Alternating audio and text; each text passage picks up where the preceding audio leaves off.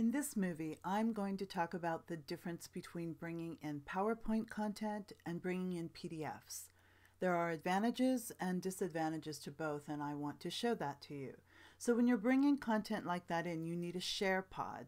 I happen to have one open here, but if you didn't have one open, you could go to the pods menu and go to share and choose add new share, and it would give you a new one. I'm just going to load it in here just to show you how easy it is. You can grab the corners and just go in and resize it. Now, when I'm bringing in content like that, and what I'd like to do is show you a PDF and a PowerPoint, I could go in here to share document and browse and find the document. I happen to have content already loaded in SharePods, so I'm going to bring it in just for time's sake. So it's already in SharePods, it's just not showing right now. So to find it, I'm going under the Pods menu to Share, and I'm going to PDF. So here's my PDF file. I'll bring that one in first, and I guess I have to resize it. There we go. All right, so here's a PDF and it looks a little funky because it's too small. If you look at the bottom, I have a lot of different controls. I can flip through the pages here or I can type into the field the exact page number I want. This has 60 slides, so if I'm on slide one, I don't want to hit this button 59 times. I can just go in here and type 60 and hit return and it will take me there.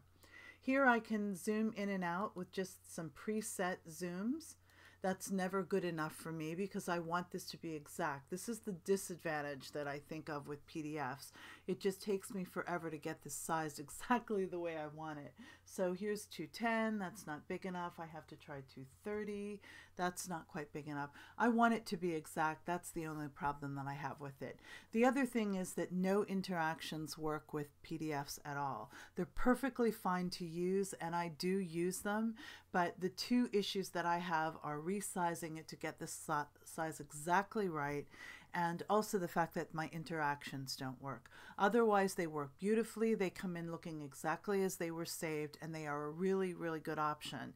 And again, you can also use those later if you want in a file share pod. If you wanted to uh, give it to people to download, a PDF is a great option. That way, they can't go in and take your content as they could with a uh, PowerPoint. So that was the PDF and I'm going to put this one away now. So this is a common mistake a lot of people make. I don't want to go in here and stop sharing. That's actually going to remove the content from the pod altogether. So all I want to do is put it away for now. So I'm going up here to the pod options and choosing hide. So again, stop sharing is going to remove the content altogether.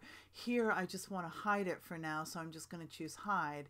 And anytime I want to get that one back up again, it's right here under pods share. So I had all these empty ones in the background. That's why this is showing. So now I'm going to bring up the PowerPoint to show you the difference. I had already preloaded it. Now this was a 11 meg PowerPoint, which is a little big for a PowerPoint, but I'm a graphics person, so that's why it's so big. Now, I've done some things here just to show you one of a couple key advantages to working with PowerPoints. It automatically sizes correctly for the pod, which I love. But another thing I really love is that I added actions to a couple places on this PowerPoint so I could show you that the actions work in uh, Connect. So down here, the forward button, I put a little action on it and I've got actions here on the first couple pages so you can see that I'm clicking on these buttons and going back and forth. So that was done in PowerPoint just by adding actions. And the other thing I want to show you is if I go through here a little bit further, just another example of what's possible. This is just a game that I created and just to show you that I can use my um, actions in PowerPoint and go in here and create a game. So here, for example, you know, I just have one set up, but just to show you, I can click on this, go in and talk about whatever I wanted to show, and then click here and get back to that page again.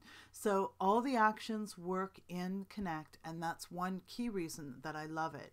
Um, another one is if you go down here are your little left and right arrows, you can see that I don't have as many controls as I did with PDF, but that doesn't bother me so much.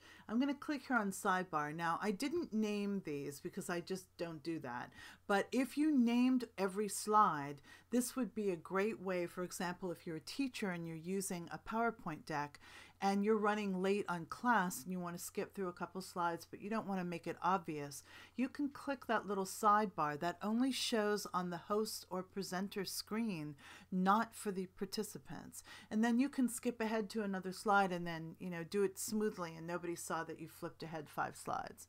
So, so anyway, this is just a little bit about the, the difference between using uh, PowerPoint and using PDF files in Adobe Connect.